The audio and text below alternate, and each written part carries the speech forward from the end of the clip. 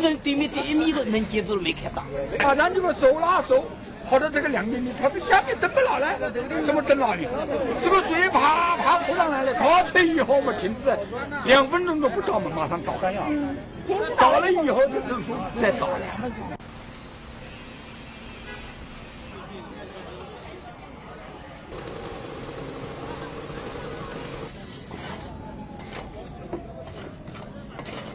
今天这个情况出现以后呢，亭子的结构都是应该说是都是保持原始原原原有的结构，木头都没有腐烂的，就是瞬间的风力太大，那个亭子顶部啊，这个受受力不稳造成的。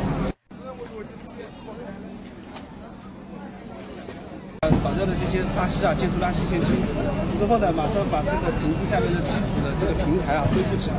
恢复了以后，那么设在这个平台上面呢，再设立一些警示标志。那么这个平台呢，还是可以在那个开放的。那以后这里还会不会造一个亭子？这个的话，呃，对这个方案再定下来。